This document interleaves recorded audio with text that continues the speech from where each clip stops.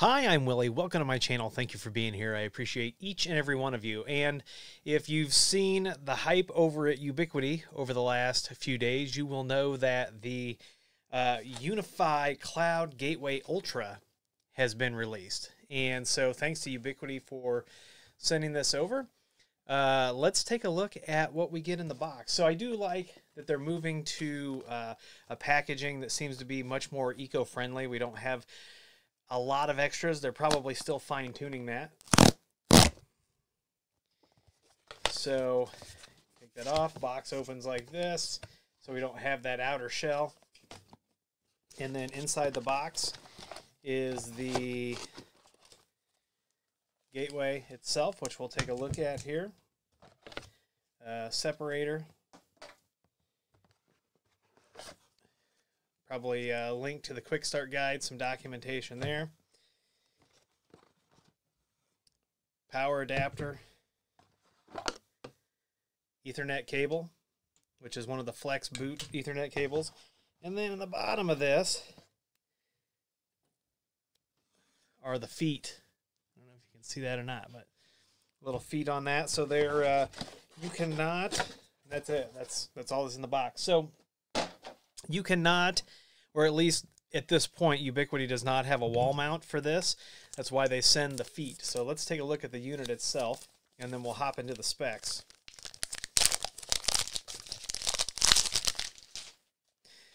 All right, so what I've got here is I've got one of the Expresses uh, next to it, so you can see, and you can see it's got the same size uh, LED screen, LCD screen there on the front, whatever they're calling those LCMs.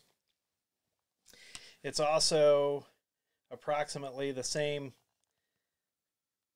thickness as the Express, but we're going to see that it's got some key uh, hardware differences. So there's the bottom of it, smooth. Right now, like I said, it doesn't doesn't come with a wall mounting option. Doesn't mean that they're not going to have it in the future. Then on the back, we've got our our power.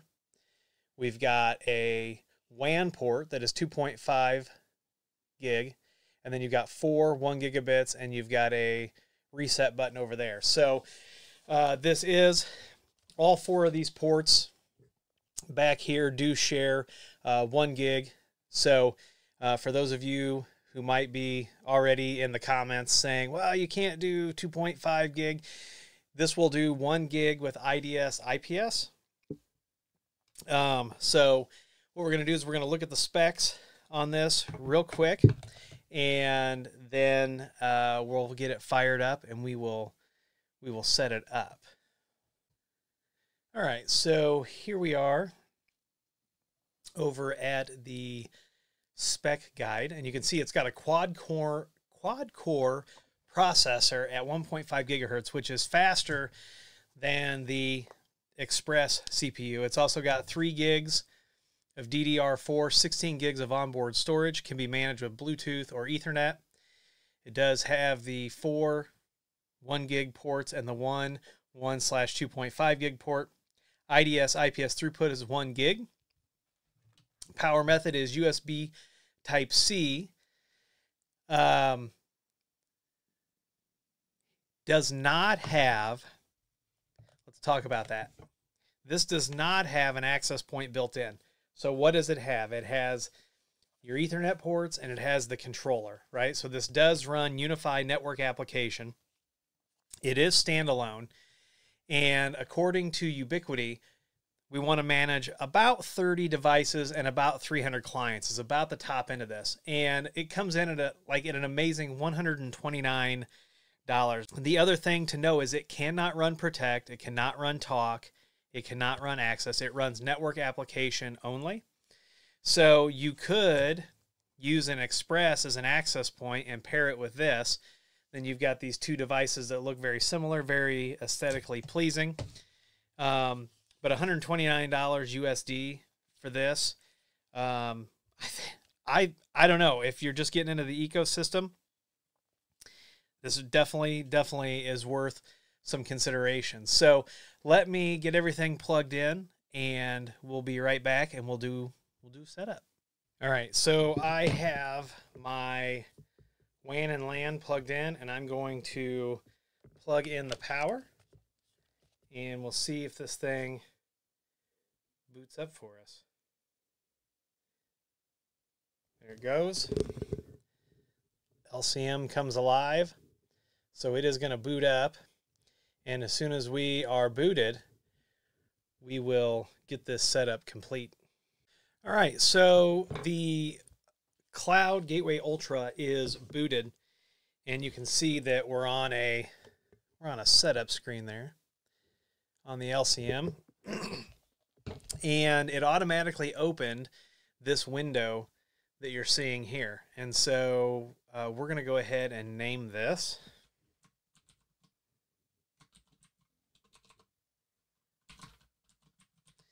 It's always good to name your device as something meaningful.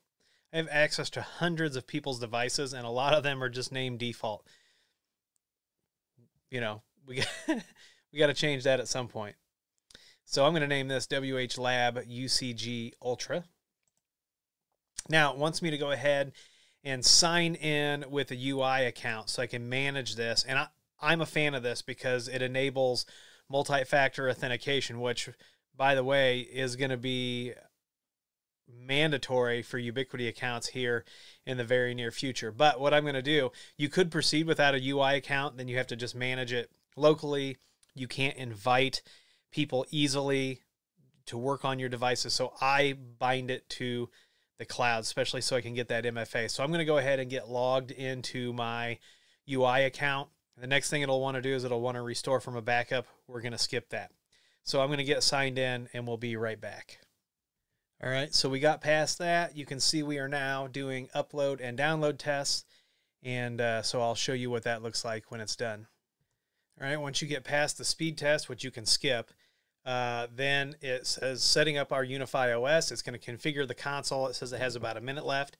In theory, this is going to be on, you know, the newest firmware. On the LCM there, we've got a little setup complete. Uh, sorry, the camera didn't want to focus there. Now, we can go to the dashboard or we can manage from unifi.ui.com. Let's just head on over to the dashboard. Okay, and so what it's doing right now, you can see that it's updating. And UniFi Ubiquiti has made some changes so that we, on some of these new installations, we get the latest version of the of the firmware. And so I'm going to let this thing update. Once it's fully updated, we'll come back and take a look. All right, so that update did take, um, it took about five minutes. And you can see we're up to date on the network version, which is 0, 8.0.28 is what they're showing as the, the latest here and then the actual UniFi OS is 3.2.12. So let's take a look here, what we've got going on. We can, all right, so we've got the same console that we're used to. This nice picture of the device here. Right now you can see how much activity we have. We can go ahead and run a speed test. And um, so I have uh, gigabit internet. That's subjective, right? So, but this is also uh, double natted. And so 615 down, 50 megs up, we'll turn on IDS, IPS, and I don't suspect that that will, will change too much. So everything that it's got here, you're used to, uh, you're used to seeing. And what I do like is that these devices do take the time to actually update. Let me refresh this just to make sure there's not another update. Doesn't look like it. So we're we're good there. Um, so we don't have any access points, but we can pre-configure. And when we plug an APN, you know, it will go ahead and adopt it and push those settings to it. We've got our default network, which also depending on if you plug this device in and you've got a 192.168 network and you plug the WAN in, it's going to recognize that and it's going to configure something else for the LAN, which is really nice. A lot of the vendors have moved to that and it's absolutely fantastic. So here we've got our, our internet, and you can see right now we're on port five. Now we can add a secondary WAN to this. So we can make port 4 WAN 2. And then you can also have the UniFi LTE backup on here. So you can actually have three, total of three WAN connections on this device. We can do automatic speed test. We get all of the VPN options that we get in all of the other all of the other consoles. So we can even do site magic with with this. All right, so that's fantastic. This thing is a full featured gateway. So what we're going to do real quick is we're going to go ahead and we're going to turn on some country restrictions and we are going to select China and Russia. and we're going to turn suspicious activity, notify, and block. We're going to turn it on high. We're going to go ahead and apply those changes. So now IDS, IPS, which is what suspicious activity is, is on full. Um, so as soon as that um, finishes configuring the gateway, we'll run another speed test. Here's our routing. Um, so this is the latest general release, that 8.0.28. All right, let's see. Doesn't look like this thing is still configuring. So let's go ahead and run our speed test now. And you saw what it was at, was at 615 before with the IDS IPS disabled. Got much higher upload speeds for some reason. We'll run a couple of these because at peak demand, I've seen our internet go down to like 300 megs. So we'll we'll test again, and we'll adjust the speed to the uh, the expected speed.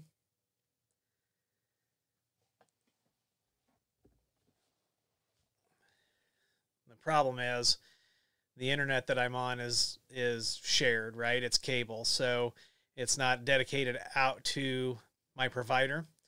So we could be seeing some issues from from peak times.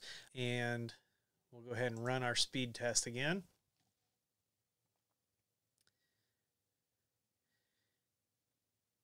And we're over we're over 600. So I'm going to say that uh, my ISP also uh, is probably experiencing some some peak times. But let me go ahead and turn off IDS IPS and we'll run that test again. Uh, we'll we'll turn it off. We'll turn off the uh, country restrictions and we'll turn off suspicious activity. Wait for this to get ready. Looks like we're ready. We'll go back. We'll run another speed test see what we get now. See, even with IDS, IPS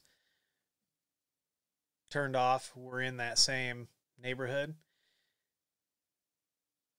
So we'll see what, what happens. So we're in this that, that same neighborhood. I'll run another one real quick without it, but we'll see exactly what happens I have to see if I can find a time when I can get most of my my gig down. So that's kind of where it's at. But I think that this device, I think that uh, I, I think it's priced right. I think that it can get a lot of people into the ecosystem. And I think that this is going to be definitely a mainstay in the lab here and with our configuration videos. If you've got any questions about this, uh, let me know. I'm gonna do. I'll do a comparison video um, against the Express and the UDR and all that, and maybe uh, we'll run some side by side speed tests. But let me know. Um, let me know what you think about this. I think it's fantastic. I'll put an affiliate link down in the comments if you want to pick one up. Um, yeah, let me know where you're going. The price is very interesting. 129 bucks for this. Uh, I mean, if you don't need edge router features, you know, this is a perfect EdgeRouter X. Um, and we know that dynamic routing is coming. So what else are you going to use your your edge your edge router for? Maybe um, high availability or something like that. But if you're running an EdgeRouter X, EdgeRouter X, this might be the perfect replacement. So let me know what you think about this down in the comments. And if you like these devices and this content, give me a thumbs up. Please subscribe, comment, share. Follow me on Twitter and TikTok. Those links are down below, along with an affiliate link, a Patreon link. And if you need IT consulting, you need your network tuned up, whether it's wired or wireless, the security, storage, voice over IP, head on over to williehowe.com. Fill out that contact form that's on the front page, and someone will be in touch with you as soon as possible. Once again, I'm Willie. I want to thank you for being here. And as always, I'll see you in the next video.